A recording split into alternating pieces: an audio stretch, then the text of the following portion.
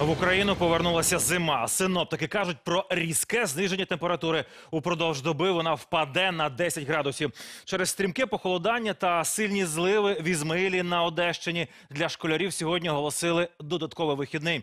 У західних областях снігопади на вихідних його випало стільки, що рятувальники досі борються із наслідками. Сотні населених пунктів залишаються без світла. У Львові сніг завалив із десяток дерев. На Рівненщині за добу випала півмісячна норма опадів. Надзвичайники витягли з кюветів чотири десятки авто. Злетів із дороги і автобус із 26 пасажирами.